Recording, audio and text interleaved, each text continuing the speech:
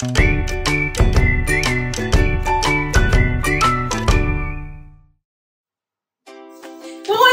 kids? Are you having fun? Wow, thank you for watching at POF Kids Church Online and we're having to the second episode of our All Aboard. If you've ever never played with a remote control car, you're missing out a lot of fun. So the controls can be a little tricky, but once you get a hang on them, it's smooth sailing. You can send this car forwards, backwards, left, right, and even make donuts. You can steer it anywhere and everywhere as long as there are no obstacles. Many people think that you can get to heaven by different routes. You can take this road or that, this path or that. Jesus made it very clear. Jesus made it very clear there's only one way to heaven and that is through him. That is why following Jesus is more like a model train than a remote control car. Where the car go any way it wants, the train goes one way, straight down the track, never veering to the left or right. There's only one way to heaven, and that is with Jesus. Let's follow him straight down the track from here to eternity.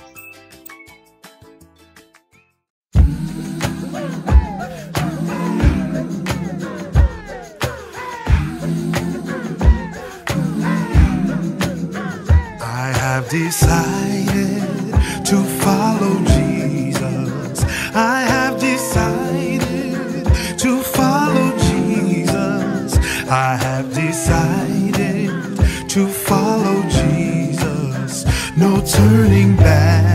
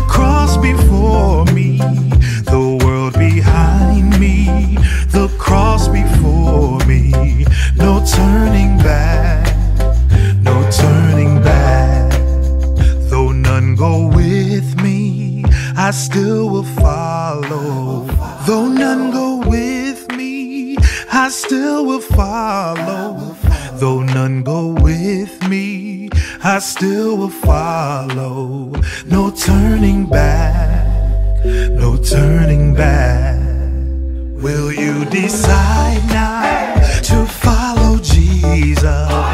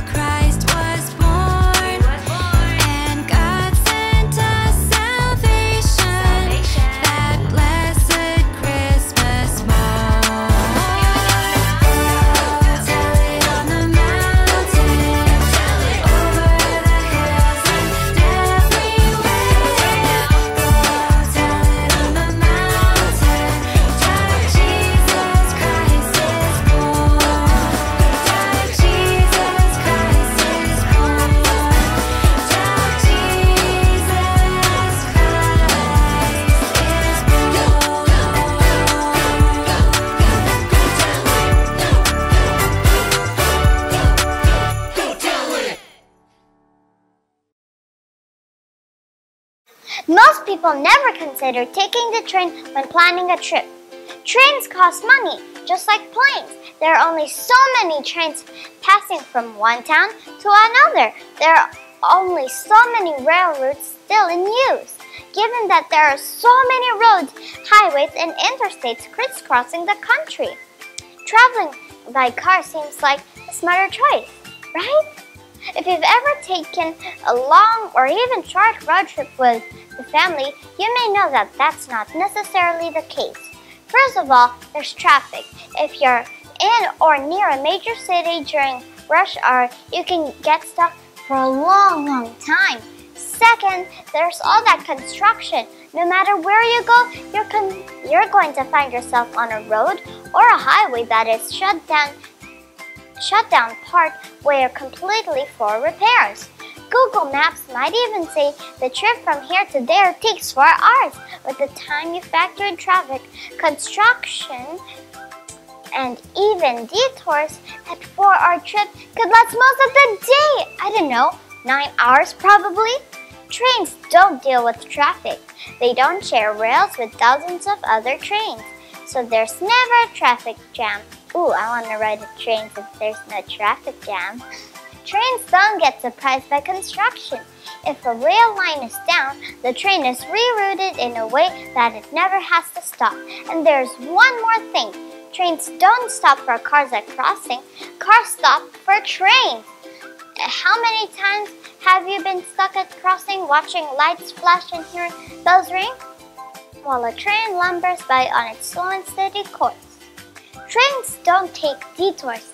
They don't get sidetracked.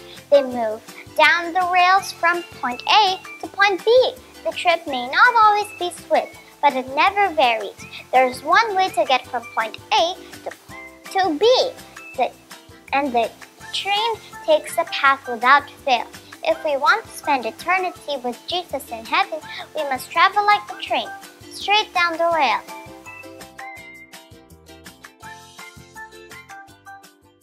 In God's true book, the Bible, Jesus uses pictures to tell us seven great things about himself. They all start with the words, I am. Here is the sixth picture. Jesus said, I am the way, the truth, and the life.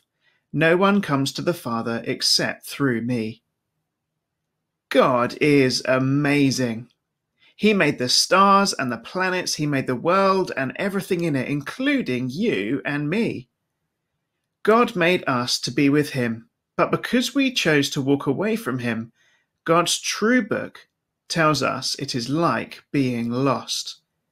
I got lost once. It was really scary. All I wanted was to be back with my dad again. And that is what life is like now. We need to be back with God again. We need to not be lost anymore.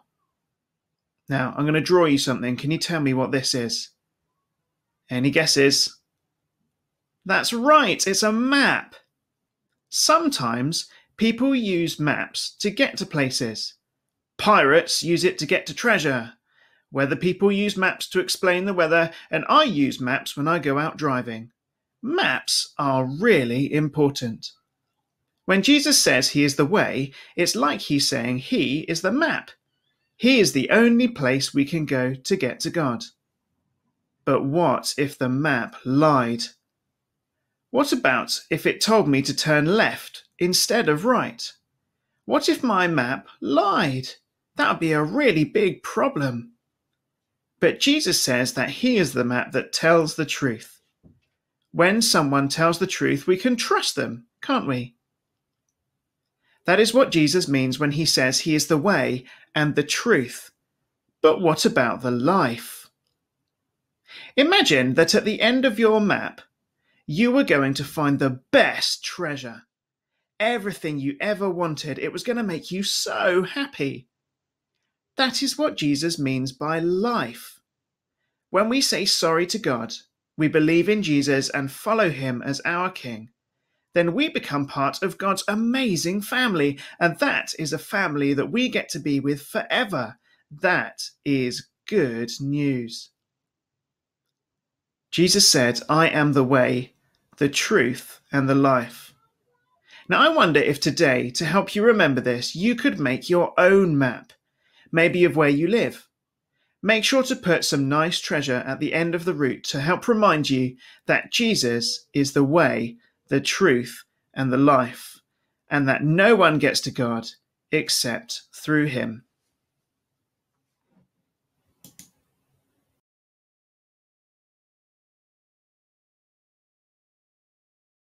When Jesus returned to heaven, he wanted to prepare homes for us. Jesus wants us all to spend eternity with him in heaven. But in order to get there, we must go through Jesus. Jesus makes it clear he is the only one who can give us admission into heaven. If we believe in Jesus, he will forgive our sins. He will send his Holy Spirit to live in our hearts so that we can have a personal relationship with Him. If we believe in Jesus, we will punch our ticket into heaven, just as trains can only travel one way down the rail. There is only one way to heaven. Jesus is that way.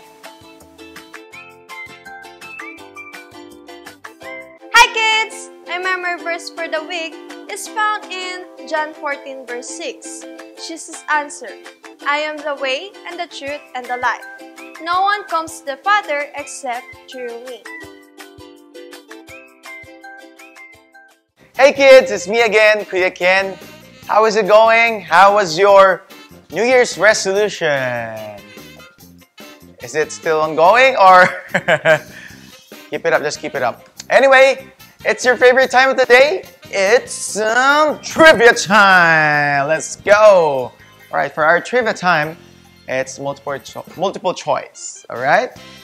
If it's A, just do this. A. B. B. Letter C. Just do this. Ah. All right. Do you copy? Let's go. Question number one. Jesus said that his father's house has many. Letter A. Stars. Stairs. Let me do it again. Le- letter A. Stairs. Letter B. Rooms. And letter C. Closets. What's your answer, kids? Three seconds. Three, two, and one. The answer is letter B.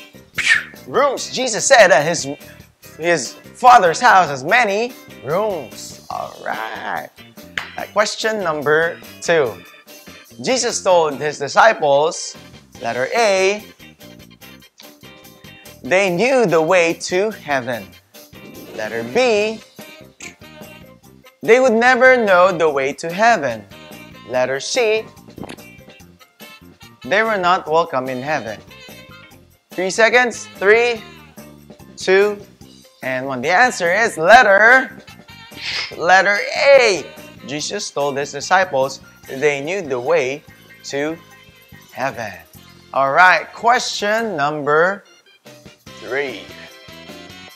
Who asked Jesus how they could get to heaven? Letter A, Peter. Letter B, John. Letter C, Thomas. What's your answer, kids? Three seconds. Three, two, and one. The answer is letter C. Thomas. It was Thomas. All right. Question number four. Jesus said they're blank to heaven. Letter A are many ways. Letter B are a few ways. And letter C is only one way. Three seconds, kids. Three, two, and one. The answer is letter C. Is the only way. Jesus said there is only one way to heaven. How are you doing, kids? We're able to get it right? All right, let's go to question number four, five. All right. No one gets to heaven unless they go through letter A, church, letter B, Jesus, letter C, the Father. Three seconds. Three, two, and one. The answer is letter B, Jesus. no one gets to heaven unless they go through Jesus. All right, how's it going, guys? Did you get it all right? Five questions? All right, see you next time, kids, again. Later. Hanging out with parents. Make this week's lesson real. Look for one-way street when you are driving the kids around this week. Point out the one-way sign and ask your kids what will happen if they try to go to the wrong way. Then ask them why it is so important to know there's only one way to heaven. Jesus spoke in parables many times. He did so to make his listeners think about the meaning of his teaching. This one point was so important. Jesus did not hide it in a parable. He came out and said it directly I am the way.